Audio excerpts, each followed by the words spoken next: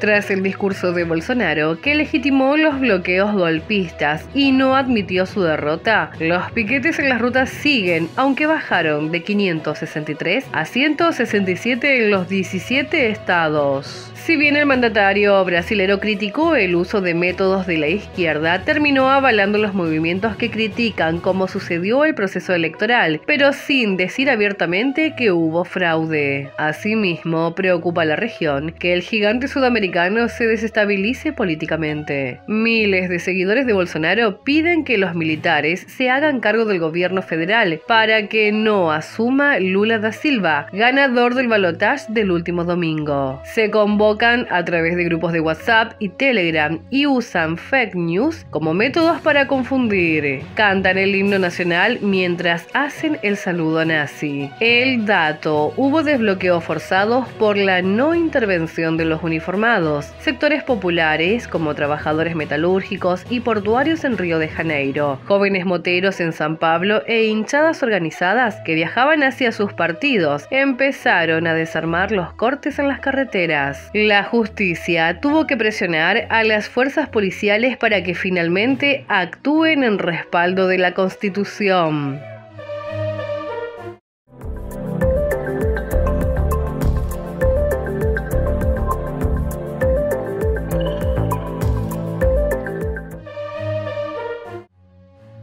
Agrepol, el gremio de los policías continúa su protesta con el acampio frente a la división e unidades especiales ubicado por Avenida Centenario. La mayoría ya lleva una semana y mañana harán una marcha desde las 9.30 hacia la Plaza 25 de Mayo exigen una recomposición salarial. Aseveran que el 80% del personal policial y penitenciario cobra haberes por debajo de la línea de pobreza. Se concentrarán este jueves junto a otros sindicatos de empleados estatales. Durante la madrugada, llegaron grupos desde la costa del Uruguay para sumarse a la movida. El dato de color de la campe lo dio un retirado de 82 años, Ramón Pinto, personal de caballería de los años 60. Su jefe era el capitán retirado del ejército Nelson Alfredo Segui, prácticamente una reliquia policial que se sumó al reclamo salarial.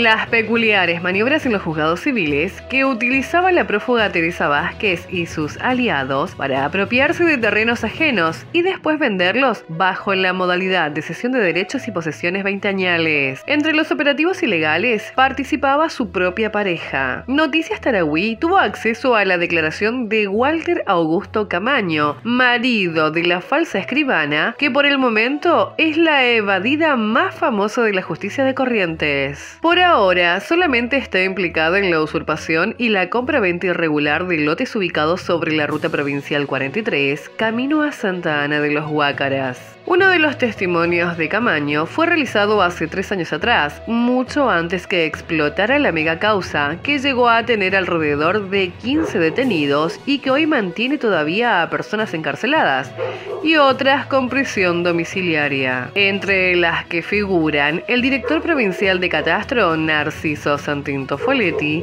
y el jefe de legales del registro de la propiedad, Pedro Antonio Verón. En febrero de 2019, en el expediente de el cuaderno de pruebas Smith, Breikretz, Edmundo Gustavo y Valdés Martín Nicolás y otros contra Ascurra Guillermo Ramón y la sucesión de Domingo Gómez Sierra sobre prescripción adquisitiva o usurpación. Camaño parece favorecer al grupo liderado por el actual fiscal de Cámara. Hace un relato novelesco que incluye hasta pasajes de su niñez. Su testimonio lo hace frente a la abogada Virginia Griselda Aquino como representante de la actora, que justamente la integra junto al grupo Smith, con quienes está vinculado en la adquisición irregular de las parcelas. Amaño comienza su cuento diciendo que lo conocía a un señor Ramos que habitaba solo ese lugar. El lugar al que se refiere son los lotes que le chorearon a la familia Ascurra y a los Gómez Sierra, y que cuando era chico, aproximadamente tenía 10 años, solía pasar con su papá y paraban siempre a comprar allí porque él por Ramos, tenía huertas y animales. Detalla que el hombre vivía solo en una casita. Dijo que eso ocurrió aproximadamente en 1990 y que después supo que esa tierra las vendió a una señora de apellido Vázquez entre el 2005 y 2006. Se acordaba bien porque ya tenía 25 años de edad. Esa señora de apellido Vázquez a la que se refiere es su esposa, la falsa notaria prófuga. Comentó además que ella acercó precariamente el lugar porque lo querían usurpar y después se lo vendió a Smith, quien realizó el alambrado definitivo y la apertura de calles. En realidad, Ramo es alguien ficticio, una persona que jamás existió. Noticias Tarahui accedió a fotos de la zona de esos años donde se observa que no había nadie. Finalmente Smith pierde el juicio de prescripción y junto a Teresa Vázquez tienen otra idea fantástica. Tenían que inventar algo para zafar porque ya habían empezado el negocio inmobiliario y no eran los propietarios de los terrenos. Aparece en escena Sebastián Domingo Villordo, a quien le hacen simular la compra de los lotes a Guillermo Ramón Escurra, quien como Domingo Gómez Sierra ya estaban fallecidos. Además, la familia de ambos, sin saber ni presentarse en el litigio, ganaron la demanda de prescripción adquisitiva porque la justicia le denegó a Smith la posesión. Y acá empieza a surgir la falsedad ideológica y prácticamente el fraude. La inexistente venta de Ascurra a Villordo se plasma en una escritura que tiene mensura avalada por catastro y es certificada por el registro de la propiedad, pero no se inscribe en el protocolo de la escribanía que regentea Gladys Baez. Todo trucho. Pero igual termina siendo un instrumento incompleto que se utiliza para comercializar los loteos usurpados. Uno de los clientes, Martín Nicolás Valdés, amigo de Gustavo Smith, hijo, que no era más que una tercerización para esconder la estafa. Está muy claro que la segunda maniobra, la más arriesgada de falsear una compra-venta de alguien ya muerto con otra persona, Villordo, que asegura que no era dueño de nada, aparece cuando al fiscal Smith y a Teresa Vázquez, con estrecha relación, se les cae el juicio de prescripción adquisitiva. La parte que no se entiende, o quién sabe, no se interpreta, porque el Estado provincial querella a casi todos, menos a los Smith. ¿Protección o espíritu de cuerpo?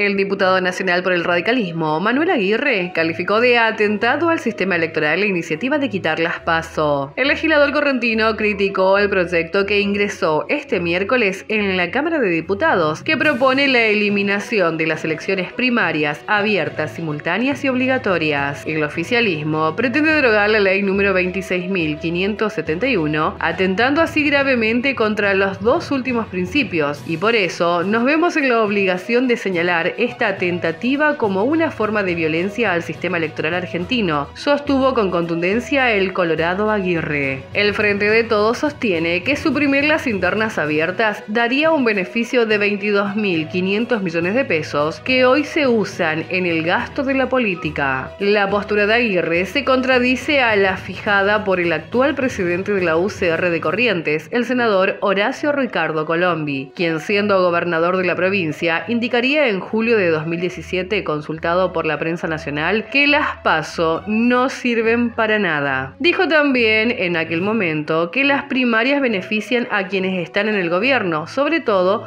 cuando elige presidente. Es una intromisión del Estado en la vida interna de los partidos, enfatizó Colombia en aquella oportunidad, en época que Mauricio Macri era presidente del país. Ahora un legislador de su partido no está de acuerdo en que se las elimine. En realidad, nunca hubo una postura oficial del radicalismo provincial sobre el tema. Este jueves habrá una mínima de 10 grados y una máxima de 27. Cielo estará parcialmente nublado Continúa el buen clima otoñal en la ciudad de Corrientes. En las próximas semanas se aplicará el tercer refuerzo de la vacuna anti-COVID en personas mayores de 50 años. La pandemia aún no culminó.